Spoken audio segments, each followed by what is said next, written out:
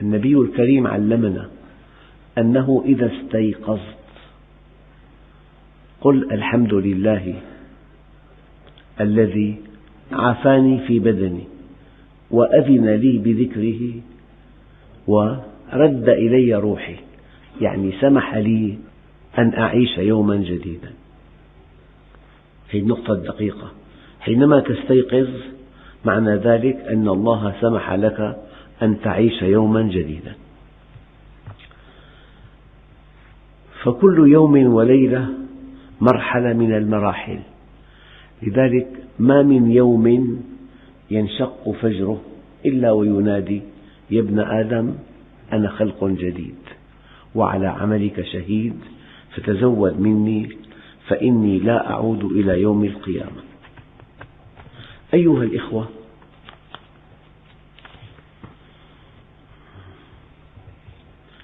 يقول عليه الصلاة والسلام نعمتان مغبون فيها كثير من الناس الصحة والفراغ. لذلك ولتسألن يومئذ عن النعيم. بعض العلماء فسر النعيم بوقت الفراغ. إن هذا الوقت يمكن أن تستغله في طاعة الله. ويمكن أن تنفقه هدرا ويمكن أن يكون ممتلئا بالمعاصي والآثام. الحالة الأولى هي التوفيق والثانية غباء والثالثة خطأ كبير. يعني قلة من الناس قليلة جدا تحسن إدارة الوقت. ومن علامات التخلف في أمة أن الوقت لا قيمة له إطلاقا. يمضي الإنسان ساعات طويلة في أعمال تافهة في أعمال لا تقدم ولا تؤخر. لذلك الله عز وجل يعاتب هؤلاء الذين استحقوا العذاب. يقول لهم أولم نعمركم ما يتذكر فيه من تذكر وجاءكم النذير؟ قال الإمام القرطبي النذير هو القرآن الكريم لأن فيه مشاهد من يوم القيامة.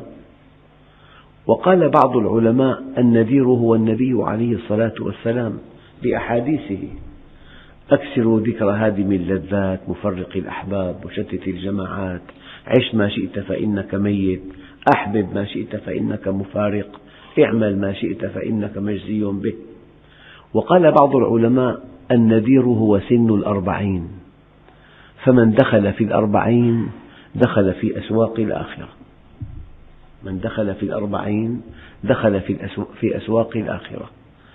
وفي بعض الآثار أنه من بلغ الأربعين ولم يغلب خيره شره فليتجهز إلى النار. يعني أربعين سنة. سن النضج. ماذا يليق بك أن تفعل في هذا العمر؟ ودائما الإنسان لو سافر بآخر قسم من السفر تنعكس خطته. يشتري بطاقات العودة يشتري الهدايا يهيئ نفسه لمتابعة عمله في بلده. إذا لا بد بعد حين من الزمن من أن تغير الخطة. من دخل في الأربعين دخل في أسواق الآخرة. فالنذير هو سن الأربعين وبعضهم قال سن الستين وبعضهم قال الشيب.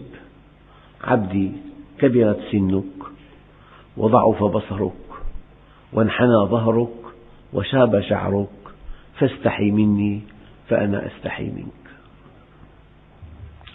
بعضهم قال النذير المصائب.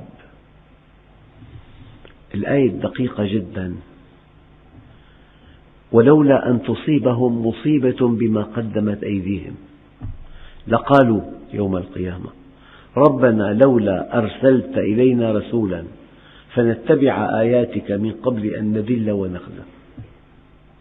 وفي آية أخرى فنتبع آياتك ونكون من الموقنين. معنى ذلك أن الله سبحانه وتعالى يجعل من المصيبة رسالة إلى الإنسان فهي نذير. وموت الأقارب نذير. كل إنسان له عمر. أحيانا بضعة أشخاص في عمره تماما يموتون. معنى ذلك أنه اقترب الأجل. أدق موعظة. إنسان عمره ثلاثين أربعين خمسين خمسة وخمسين ستين. يفاجأ أن صديقه توفي والثاني توفي. فموت الأقارب والأنداد أيضا رسالة. نعم. وبعضهم قال يعني النذير كل شيء في الحياة الدنيا يدعوك إلى أن تنتبه من نهاية العمر. أيها الإخوة ما مضى فات والمؤمل غيب ولك الساعة التي أنت فيها. والحقيقة لا نملك إلا الساعة التي نحن فيها. الماضي مضى ولن يعود والمستقبل لا تملكه. كنت أذكر لكم قصة مرات عديدة. هذا الذي حدثني عن خططه لعشرين عاما قادمة. ثم فوجئت أن نعوته قرأتها في اليوم نفسه. لا تملك المستقبل. ما في إنسان ما في بذهنه مئات الخطط للمستقبل. يأتي ملك الموت يلغي كل هذه الخطط. وأنت إذا زرت مقبرة اعلم علم اليقين أن كل هؤلاء الموتى ماتوا ولم ينجزوا أعمالهم. كل واحد كان في عنده أحلام وخطط وطموحات وجاء الموت فأنهاها. والإنسان كل ما يملك من قوة وهيمنة وجبروت وغنى ومكانة ومنصب منوط بدقات القلب وقف القلب انتهى كل شيء. كل أملاكه لغيره صارت. يعني القلب أموال منقولة وغير منقولة وعملات أجنبية وأسهم وشركات. وقف القلب انتهى كل شيء. كل ما يملك انصرف إلى غيره. فلذلك الإنسان إذا وضع البيض كله في سلة واحدة فهو أكبر مقامر وأكبر مغامر. لا بد من أن تعمل عملا يسبقك إلى الآخرة. فإذا جاء الموت رأيت العمل أمامك. نورهم يسعى بين أيديهم. لذلك هناك يوم مفقود. ويوم مشهود. ويوم مورود. ويوم موعود. ويوم ممدود. المفقود الماضي والمشهود الحاضر. لا تملك إلا اليوم المشهود. أما أمامك هناك يوم مورود الموت.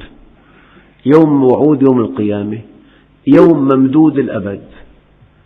الأبد يوم القيامة الموت. لا ينجو أحد من هذه الأيام الثلاثة. وأخطر يوم المشهود. لذلك ورد في بعض الآثار هلك المسوفون. قالوا الفوت يعني ضياع الوقت. أشد من الموت لأن الفوت انقطاع عن الحق والموت انقطاع عن الخلق. ولما علم الصالحون قصر العمر وحثهم حادي وسارعوا طووا مراحل الليل والنهار انتهابا للأوقات. وسارعوا. يعني وسارعوا إلى مغفرة من ربكم وجنة عرضها السماوات والأرض. وقال بعض العلماء إذا أراد الله بالعبد خيرا أعانه بالوقت وجعل وقته مساعدا له. والمؤمن يجعل الله له بركة في وقته يعني في وقت قليل ينجز العمل الكثير. بعض العلماء أحصوا مؤلفاتهم بعد موتهم وقسموها على أيام عمرهم فكان نصيب كل يوم تأليف تسعين صفحة. تسعين صفحة كل يوم قسموا المؤلفات على عمره. وأحيانا يمكن أن تنجز في الوقت القليل أعمالا جبارة. هذا من توفيق الله عز وجل. لذلك أخشى ما نخشاه أن يذهب الله البركة من أعمارنا.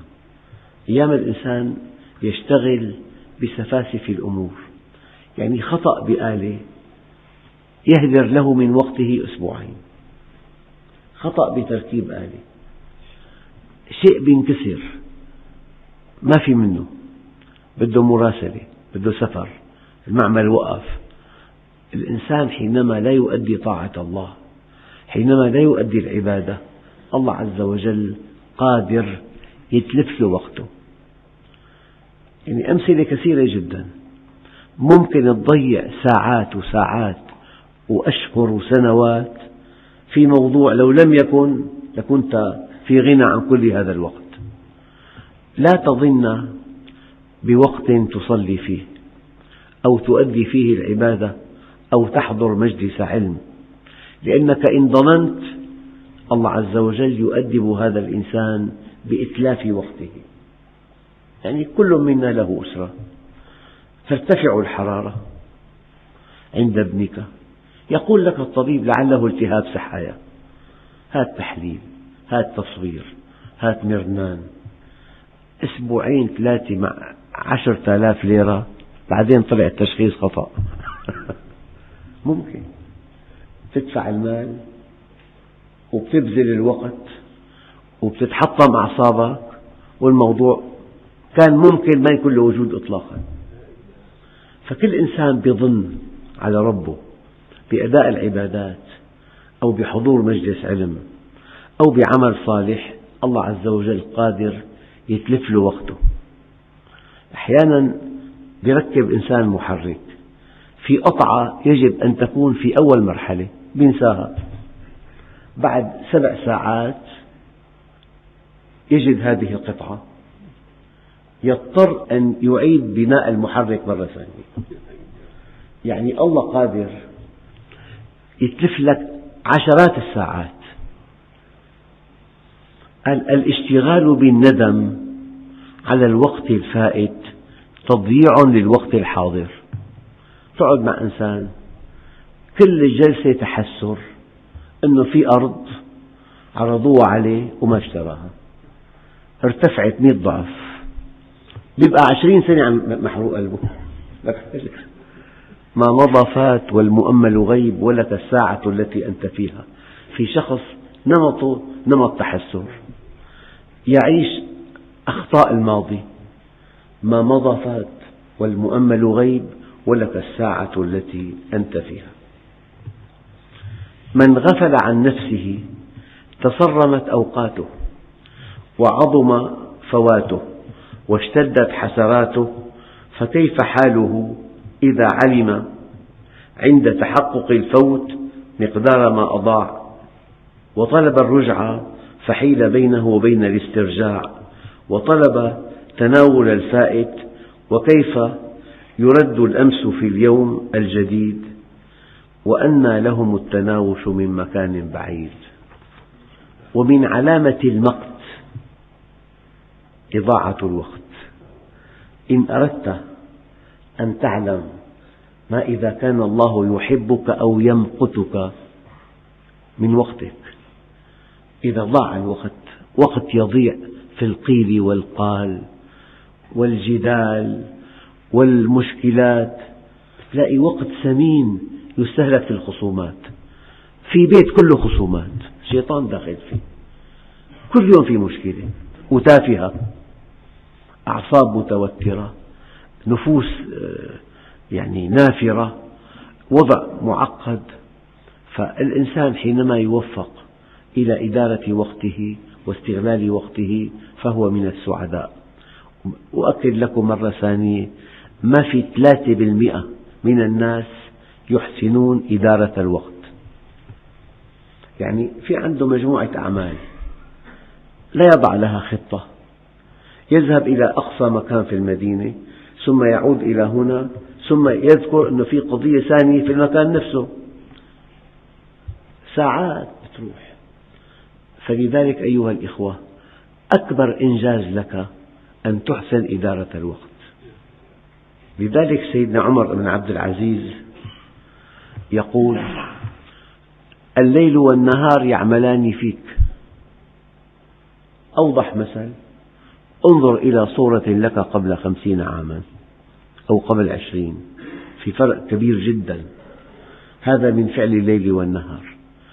الليل والنهار يعملان فيك فاعمل فيهما.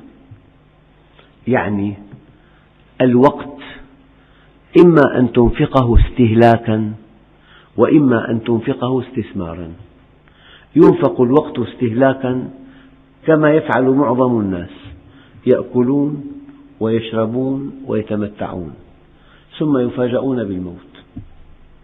وأيديهم صفر ليس لهم عمل صالح.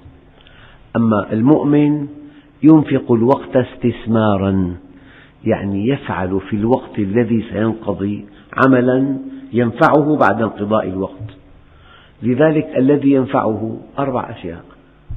والعصر إن الإنسان لفي خسر إلا الذين آمنوا. جلسة إيمان. وعملوا الصالحات عمل صالح. وتواصوا بالحق دعوة وتواصوا بالصبر. إن فعلت هذه الأشياء أو بعضها في اليوم فأنت لست بخاسر. أما إذا غفلت عن هذه الأربع وحصلت أكبر ثروة فأنت خاسر.